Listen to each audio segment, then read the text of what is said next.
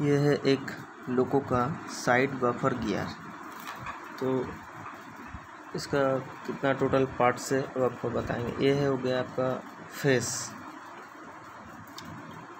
सामने साइड ये आपका फेस हो गया। उसके बाद आपका प्लांजर इसको प्लांजर कहते हैं और ये है बफर केसिंग और इसके अंदर आपका buffer spring rubber pad destruction tube और स्पिंडल, ये सब इसके अंदर रहता है। ये बेसिकली यूज़ किया जाता है जब कपलिंग होता है तो ये आपका वाइब्रेशन को रोकने के लिए, जार्क को कम करने के लिए इसको यूज़ किया जाता है रेलवे सिस्टम में। देखिए, आपको फ़ोटो की मदद से दिखा रहे हैं। ये है फेस ये हो गया आपका प्लंजर ये हो गया आपका बफर केसिंग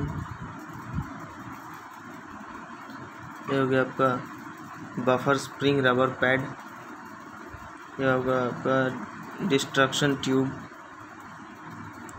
ये हो गया स्पिंडल अब देखिए इस इसके लिए इस, इसमें जो जर्क होता है इसको कम करने के लिए।